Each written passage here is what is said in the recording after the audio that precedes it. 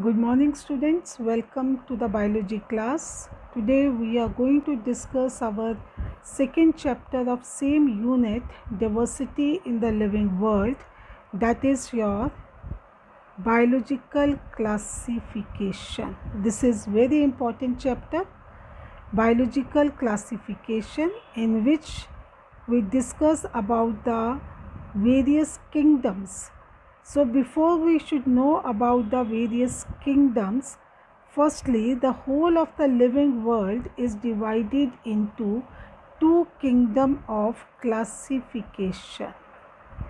The two kingdom of classification they are Plantae and Animalia.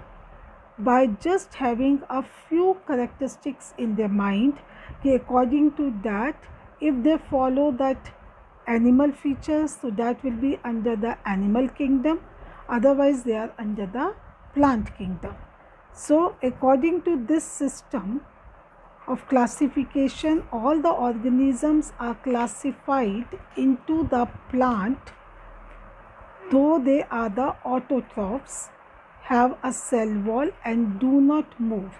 So what is the criteria of classifying the living organism under the plant which are autotrophs. Autotrophs means which can synthesize their own food and they have a cell wall but they cannot move. And the animals, those which are heterotroph and holozoic in nutrition means which cannot synthesize their own food and they are able to move. So by keeping in mind these features, they have classified the whole universe or the whole diversity into the two kingdoms that is your Plantae and Animalia. So two kingdoms are being there that is your kingdom Plantae and Animalia and the name was given by the Linnaeus who has given the binomial nomenclature. So the prokaryotes, so various reasons are there what are the limitation of these two kingdom of classification? Why the two kingdom of classifications are not sufficient? What are the drawbacks of the two kingdoms of classification? This is very important question. Who has named two kingdoms of classification? That is your Linnaeus on what basis? So the plants which are autotrophs which have cell wall and they cannot move. They are being classified under the system of Plantae and the animals which are heterotrophs which cannot synthesize their own food but they are able to move. They are being classified under the system of under the kingdom of animalia but later on it was found that the two kingdom of classification was not sufficient and they have a number of limitations. They have a number of drawbacks. What are that? Number one is prokaryotes and eukaryotes. So both the prokaryotes and the eukaryotes are being grouped under the same kingdom that is your Plantae. So because they can synthesize their own food, so either they are prokaryotes that is with they are having a single cell, or they are eukaryotes. They are being classified under the same kingdom that is any sorry Plantae next is heterotrophs and autotrophs. So the heterotrophs means which cannot synthesize their own food and autotrophs which can synthesize their own food but fungi Euglena, they both under the same kingdom that is your kingdom Plantae. So the next is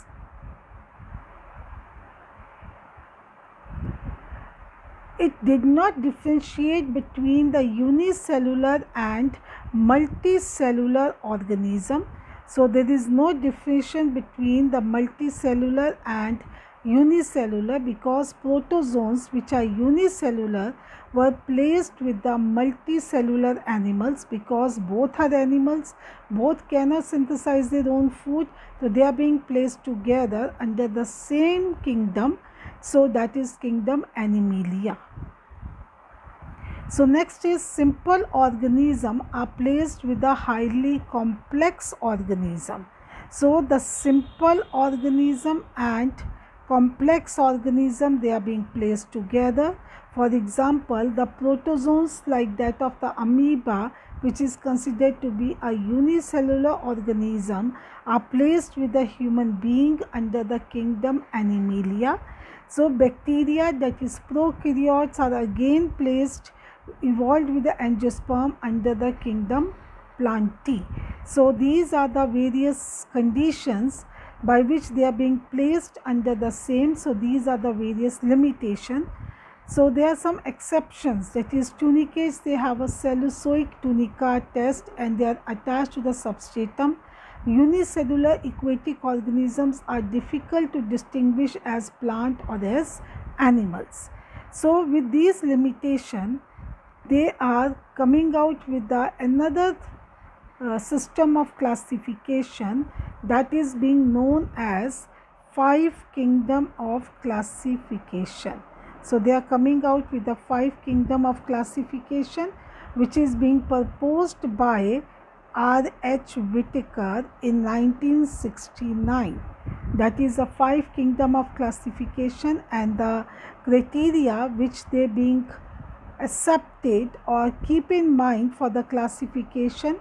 Number one is your complexity of the cell structure whether they are prokaryotes or they are eukaryotes so they should be placed together and then they are having the body organization whether that is unicellular or multicellular they should not be placed together and the next is the mode of nutrition which is also being there in the two system of classification.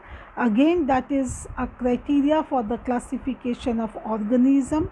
And here again that is autotrophs which can synthesize their own food heterotrophs which cannot synthesize their own food holozoic which take the complex food. So this that is a criteria by which they will be classified and the next is your lifestyle.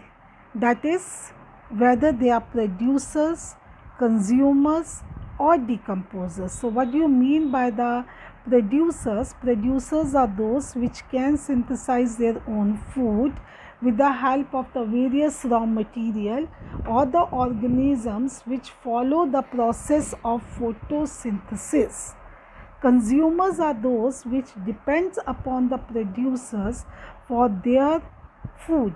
So the producers are known as autotrophs, consumers are known as the heterotrophs. What are decomposers? Decomposers are those which depends upon the dead and decay matter. So they are different from the producers and consumers. And the next one is your phylogenetic relationship. So phylogenetic relationship means the evolutionary history that from where they are being evolved how the simple structure becomes the complex. So the various you can say the past history that how the development takes place that is what called as your phylogenetic relationship.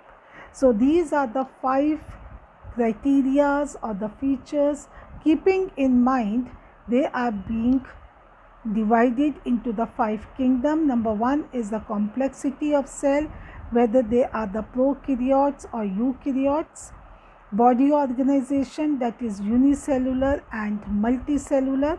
Mode of nutrition autotrophs heterotrophs and holozoic.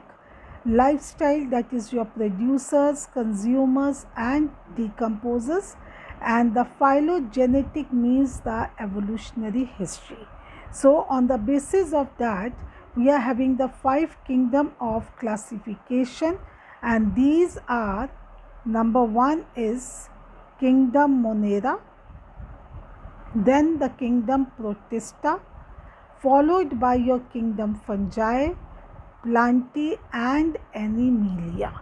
So in this sequence, we have to learn the five kingdoms that is Monera, then protista, then fungi, Plantae and Animalia. So that five kingdoms are there in a sequence. That is number one is your Monera, your Protista, Fungi, Plantae and Animalia.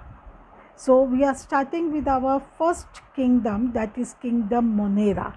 So before that I will just re repeat what we have did that is the biological classification in the biological classification by keeping in mind only a few features that about the autotroph or your heterotroph they can move they cannot move they have a cell wall they don't have a cell wall by keeping these features in the mind they have divided whole of the living organism into two kingdoms that is your kingdom plantae and animalia that is was proposed by the Linnaeus, but later on that kingdom shows the number of limitations that is both the complex and simple prokaryotes or eukaryotes they all are placed together. To overcome that in 1969 R.H. Whitaker has proposed the five kingdom of classification depending upon the body organization that is unicellular or multicellular or depending upon the whether they are prokaryotes or they are eukaryotes, mode of nutrition, then that is having a lifestyle and then the phylogenetic history. With that features they have given us the five kingdoms starting from the simple to the complex that is your kingdom monera, kingdom protista, kingdom fungi, kingdom plantae and kingdom animalia.